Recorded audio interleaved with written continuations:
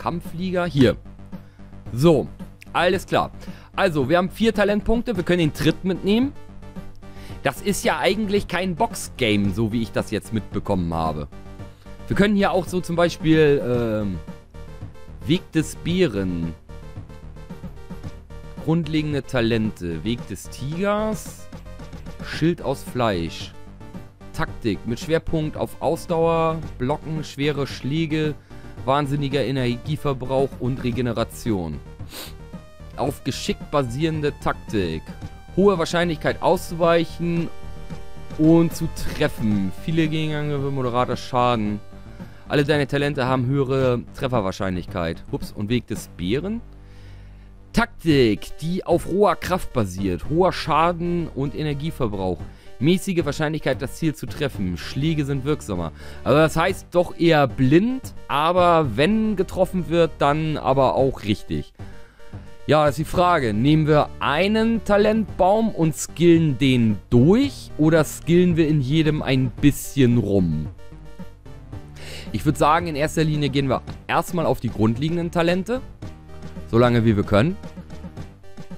Wir machen erstmal den Tritt, klar. Lernen für 1. Lernen für 2. Ah ja, und jetzt können wir nichts weiter machen. Ach, guck mal hier, Alter. Stärker, einfach Nachverbrauch. Aber mehr Energie. Hoher Tritt ist gesperrt, weil wir brauchen mehr Geschick. Tiefer Tritt. Schneller Tritt, der ziemliche Schaden verursacht und zugleich Ausdauer und Geschick deines Gegners verletzt. Aha. Kinnhaken. Sehr stark, benötigt nicht viel Geschick. Äh, brauchen wir aber drei Stärke für. Und kostet, steht noch nicht bei.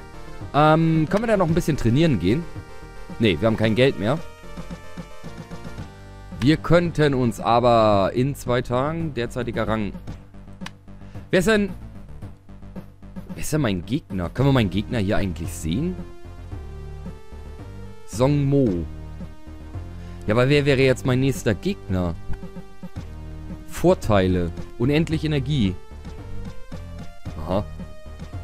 Achso, das ist jemand anders. Das bin ich gar nicht. Oh, hier bin ich. Wahrscheinlich er hier. Hacksaw Jim Duggan. Äh... Weißt du was? Einfach mal anmelden. Der nächste Kampf beginnt in drei Tagen. Wir müssen aber als erstes Geld an Laden kriegen.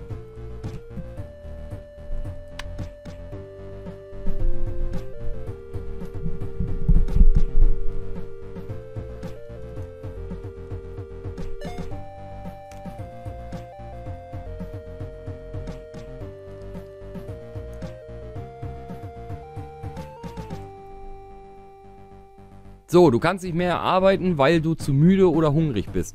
So, ich musste eben gerade mal ganz kurz meine Stimme rausnehmen, weil ähm, ich habe mir mal kurz meine Kopfhörer in die Ohren gedrückt. Scheiße, bei Mick werden wir jetzt nichts kriegen. Dann gehen wir einfach nach Hause. Hä? Und da klingelt auch schon das Telefon. Hallo?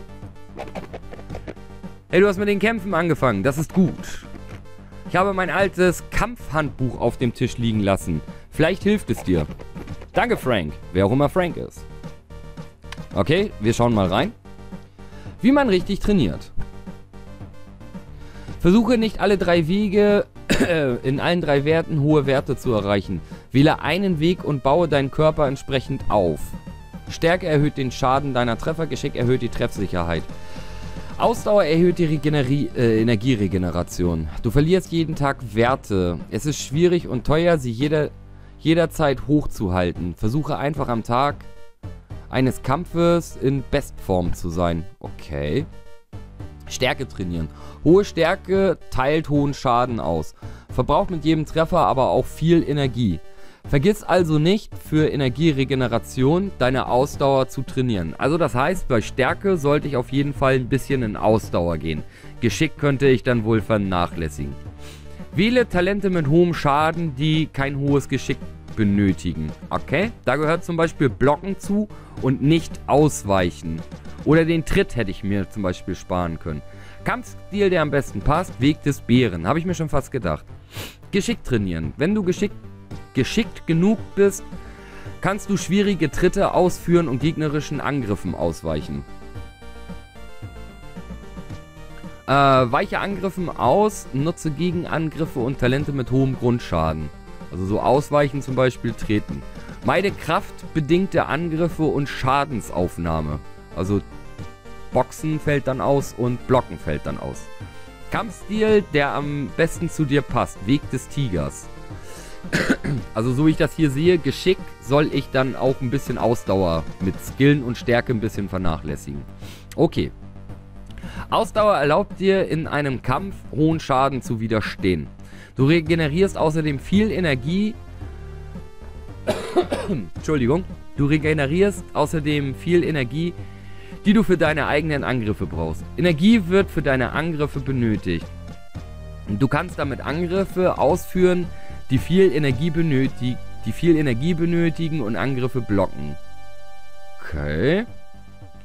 Du bist nicht geschickt, also versuch gar nicht erst Angriffen auszuweichen oder Angriffe zu verwenden, die ein hohes Geschick erfordern. Also so Schlag oder Ausweichen. Kampfstil, der am besten zu dir passt, Weg der Schildkröte. Wie du siehst, sind Talente sehr wichtig. Versuche immer neue Talente zu lernen. Frage deinen Lehrer und habe einen Langzeitplan für deine Charakterentwicklung. Okay. Versuche nicht deine Werte zu stärken, weil du große Zahlen magst. Trainiere nur gezielt, wenn du es musst. Ja, okay. Also so wie ich angefangen habe, würde ich auf jeden Fall sagen, dass wir in Richtung Stärke weitergehen. Ende. Denk dran. Kämpfen soll Spaß machen. Nee, soll den Gegner vernichten. Also ich würde sagen Stärke. Wir gehen in Richtung Stärke, weil ich jetzt halt hier schon mit Ausdauer und Stärke angefangen habe. Dann vernachlässigen wir ein bisschen Geschick. Nehmen wir natürlich auch ein bisschen mit rein. Aber hauptsächlich Stärke. Das ist jetzt so mein Plan. Gut. Dann würde ich sagen, mampf dir mal ein. Mampf dir mal hier so eine Muku. Und dann legst du dich mal ein bisschen hin. In der Zwischenzeit sind bei mir 20, 30 Nachrichten aufgelaufen oder so. Ich habe keine Ahnung. So. Ich bin froh, dass ich mein Handy neuerdings immer auf lautlos stelle. Alles klar, wir holen uns noch die nächste Muku. Essen. Wupp dich und Stadtkarte und Apu Nahasa Pemi Petilan. So, Apu. Einmal Fleisch, zweimal Fleisch. Wupp dich. Und wie sieht das aus, essenstechnisch? Bei wie viel Prozent sind wir? 47. Stadtkarte. Gehen wir einmal zu nach Mick hin. Zu nach Mick. Rein hinein. Gibst du mir jetzt was zu essen? Ich glaube nicht, dass du hungrig bist. Nur, nur halt nicht. So, wir gucken jetzt mal hier unten, verlassene Lagerhalle, was da jetzt eigentlich noch so Phase ist. Da waren wir ja auch noch nicht. Oha, hier so ein Taschenspieler. Hi, ich hörte, du organisierst Ultimate Fights. Stimmt das? Hm, du siehst nicht aus wie ein Polizist. Also ja. Hm, wer weiß. Du kannst... Was? Jetzt kannst du in der Ultimate League kämpfen. Ich mach mir schon ein paar Sorgen. Ja, ich mir auch. Dann bin ich dabei. Okay, aber wir kämpfen nicht jeden Tag. Und unsere Kämpfe sind richtig gefährlich. Uh, ich liebe die Gefahr.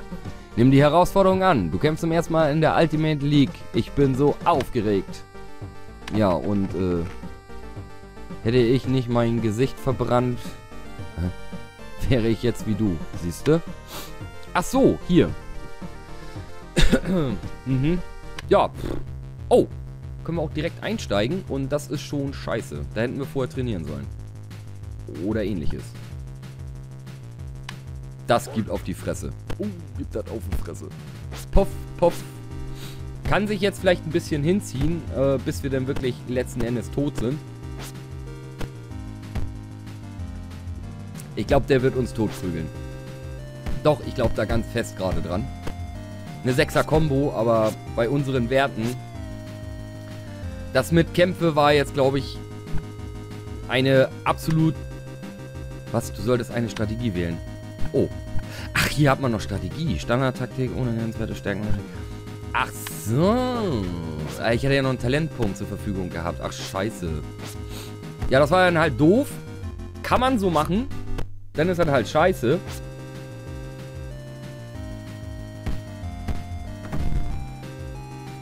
...97 zu 63. Ah, ich glaube, das können wir noch drehen, oder? Wenn wir ihm jetzt nochmal so, einen- so, so einen ordentlichen... Ja, komm, eine 11er Combo. War sauber. Richtig nice. Nächste Runde. Ähm, also diese Runde. Da sollten wir ihn vielleicht mal... Äh, unter Feuer setzen, hätte ich jetzt gesagt. Aber... So nicht. Ja, so ist gut. So ist gut. Ordentlich, ja, komm. Links, rechts. Ja, wunderbar. Elfer Kombi. Äh, Combo. Alter, das wird aber ein knappes Ding, so. Runde 5. Ich glaube, wir können das Ding noch richtig knapp drehen. Also im Moment, ne, also, uh, hm. Vor lauter Aufregung muss ich erstmal eine rauchen. Hm. Guck mal, aber hier sieht man jetzt zum Beispiel, glaube ich, dieses Stärkedefizit. Denn äh, seine Energie ist immer ziemlich weit unten und darum kann er nichts machen. Und unsere Energie, die ist ja halt, ne? Die ist ja wirklich fast unendlich. Ja, der ist jetzt aber zum Beispiel in Ausdauer gegangen. Abwehr. Aha. Energieregeneration. Naja. Aber hey, komm, wir sind dicht dran. Runde 5. Immerhin, ich hätte nicht gedacht, dass wir fünf Runden gegen den überhaupt aushalten. Aber er hat seine Taktik geändert, glaube ich. Oh, Alter, guck mal hier, 19 zu 20. Wow, wow, wow. Ah, es sah ganz gut aus. Paar Mal ausgewichen. Komm schon. In die Nieren, in die Nieren. Ah, doppelt so viele po Lebenspunkte wie wir noch. Eine Elfer-Kombo bräuchten wir jetzt nochmal. Ah, puh, ich hatte da... Äh, komm schon. Gib ihn. Ah, Ja, schön neun Dinger nochmal auf die Schnauze. Oh, und wir haben verloren. Yo, los. Kacknacken. Trotzdem, Belohnung, zwei Talentpunkte, 20 Geldeinheiten und auch eine nette Belohnung, minus 60 Lebenspunkte. das war eigentlich die netteste Belohnung daran. Okay, ähm, was habe ich gesagt? Weg des Bären. Wir schlagen diesen Weg einfach mal ein. Hä? Musst du zuerst das entsprechende grundlegende Talent freischalten.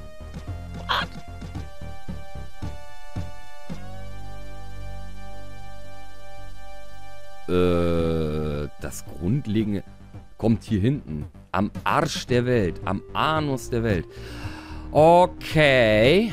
Ähm, nee. Ein schwächerer Schlag, der ziemlich viel Schaden verursacht und zugleich Ausdauer und Geschick deines Gegners verletzt. Jetzt weiß ich aber nicht. Kinnhaken. Anforderung 3 Stärke. Hoher Tritt.